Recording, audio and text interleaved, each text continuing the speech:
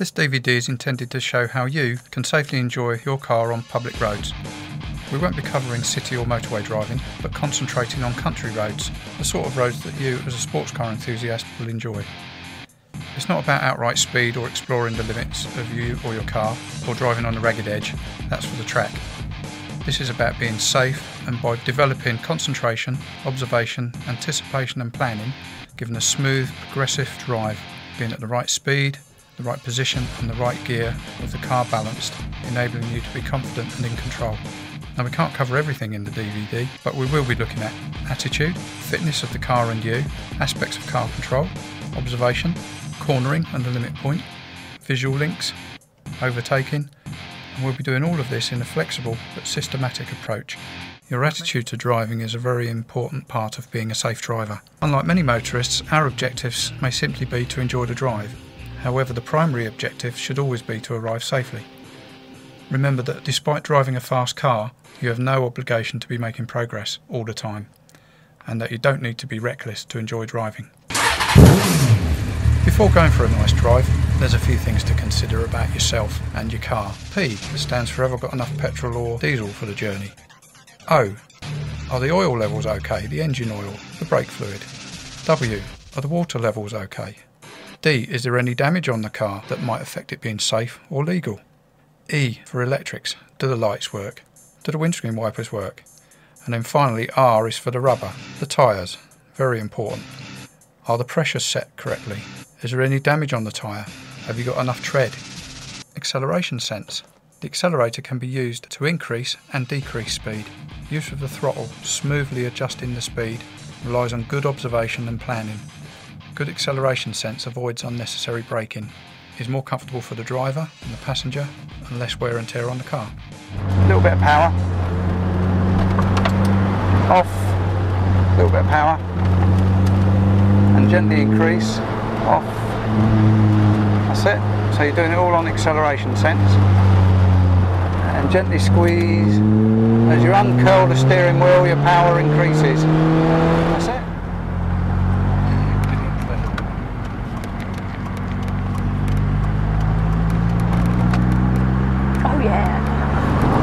On a powerful car like this, if you was changing gear halfway round the bend, you obviously put the clutch down. If you don't do the old um, bringing the revs up and that, if you just let put the clutch in and then start to let it back up, Yeah. you're going in the lower gear. You know, you get that lurch.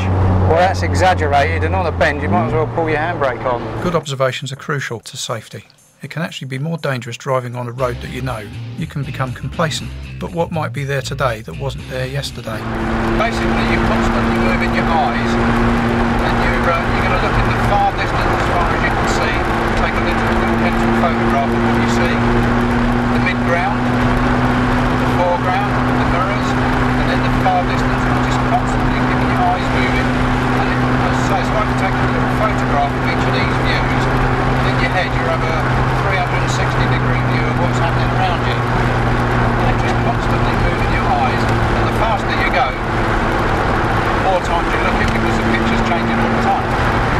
Road's lower down, is there any cross views? Although, no there isn't. Just the hedge line. Just the hedge. Had the hedge been lower, you would get a cross view, but you would have dead ground below the hedge. Yeah. You know, you, you wouldn't be able to see know perfectly. in it. You just get a bit of a clue. What do you think about using the whole road? What, the Is that Something I've seen people do when Yeah. there's clearly no oncoming traffic. Well, strictly you shouldn't. However, you've got to make sure there's no dead ground. You've got to make sure you can see 100%. Well, local knowledge, I know there's a golf club here, so, you know, you could get people, oh, Yes, Oh. crossing it. as if by magic. We use our eyes to see what's going on, but we should u- always use our other um, senses, and one of them is the sense of smell. In particular, before you suddenly go past this garage and smell diesel, you want to start looking for a trail of diesel on the road. Someone might have overfilled their tanks as they pull off a forecourt. Diesel slurps on the road. Well, diesel is very slippery. The limit point is the furthest point along the road of which you have an uninterrupted view of the road surface. You've got the two verges or the edges of the road. and Like in the distance there, you can see they go round the corner, and there's an illusion that one side touches the other side. As you get more and more practiced at it, you will glance at the limit point and then you'll glance in your mirrors, you'll glance across the bend for different views. But uh, the idea is that our speed is adjusted and we just keep pace with that point and moving away from us. If the point starts to move towards you, then obviously you need to slow down because it's indicating a reasonably tight bend. If it's racing towards you, it's a very tight bend and you need to slow down a lot. Visual links are things beyond the limit point. They give us a clue to which way the road may go, a clue to potential hazards ahead that are not yet visible. It's like when you, you spot something and you link it to what might happen or you're anticipating. And one of the one of the really good ones, particularly on country roads, is um, you're driving along, and you see someone at a bus stop on the other side of the road. So the link there is you think, oh, a bus might come along. Yeah. Now you might, you know, so what? A bus might come along. But if you're on the country roads, they're a little bit narrow. Buses are quite big. You're going to want to know if a bus is coming around the corner on partly on your side of the road. So what you do is you, you oh right, bus. They're, they're going they're not going to wait there all day. They know the time of the bus. Yes. It's not going to be far down here. And and as you approach these tight little bends, you maybe ease off the gas a little bit, anticipating, move over a little bit to the left, and as you come around the corner, if the bus is there, you just ease off or maybe pull over and stop, whatever you need to do.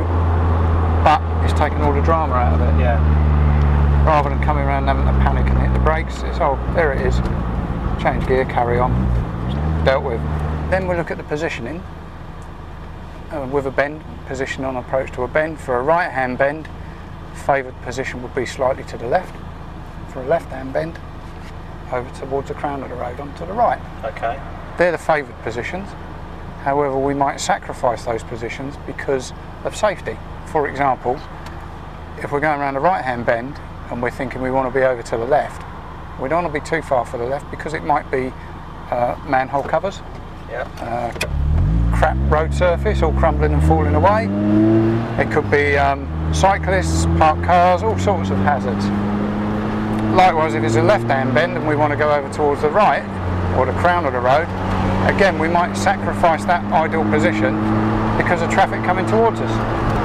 And we go through that those phases, information, position, speed, got your gear, and then it says in the books it says accelerate round the corner, but I don't like people to think we're accelerating faster. So I say drive. Well, like a constant held Constant. speed. Yeah. So what you do, you've got your speed, you've got your gear, and you want to keep that speed as you go around the corner. And then as the corner starts to open up, i.e. the limit point is moving away, then you increase your speed in proportion to the amount of steering you're taking off. Overtaking multiple vehicles. Always do this with extreme caution. There are very few roads where the volume of traffic coming the other way will permit it. If cars are spaced out enough, treat each car as an individual overtake, but you don't have to keep moving back in to the near side, but you can if need arises. Constantly reassess the situation to decide whether the next one in line is on. If cars are too tightly spaced, treat as one single long overtake. Don't overtake if you would have to force your way back into a small gap, remembering that gaps might close up ahead of you. Now try watching the next clip, give a commentary, and see what you can spot. Let's watch the clip again. I've had a go, we'll see what, uh, what I've picked out. We've got a, a sign telling us there's a junction on the right hand side. Consider vehicles pulling out of there. Sign telling us there's a road bending to the left, slow on the road, coming up to a 30 mile an hour speed limit. So we check our mirrors and adjust our speed. There's the car coming out of the junction, not causing any problems. And there's a sign on the left just telling us that there is some sort of temporary event. There's a car on a driveway that could have moved out, but we uh, had him covered. There's a footpath on the left hand side. We're on a bus route. The road narrows from both sides. Crossroads ahead. There's also a pub car park. We've now got um, another junction on the left, but it looks clear. We've got a parked car on the left hand side of the road. Will the door open? We've taken out a wide position to pass the parked car. Warnings of a junction ahead and a bend. And so we take all these things into consideration